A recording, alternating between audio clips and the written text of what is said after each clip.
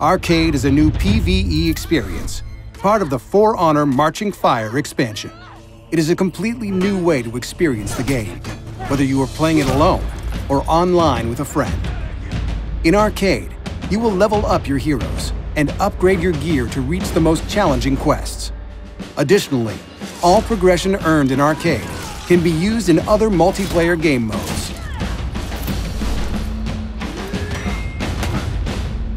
When entering Arcade, you will be able to select a quest. Quests are available in different rarity levels.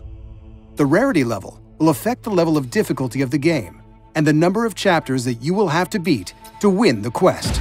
You can match your gear with the recommended rarity level of the quest for a balanced experience, or be more adventurous and pick a quest that is above your current gear rarity for a greater challenge.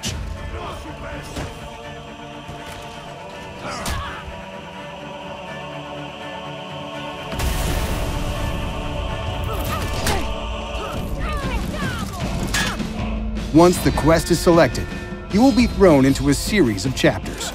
Offering infinite replayability, chapters deliver a new battle every time with varying objectives, enemies, locations, and modifiers.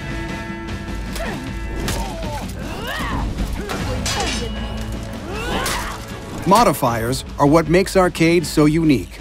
They are positive or negative traits applied to your hero and your enemies.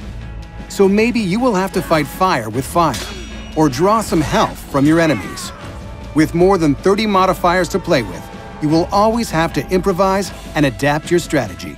Arcade will be an ongoing experience, so keep an eye on our weekly quests to win special rewards. Arcade will be available to all owners of the For Honor Marching Fire expansion, available on October 16th, 2018.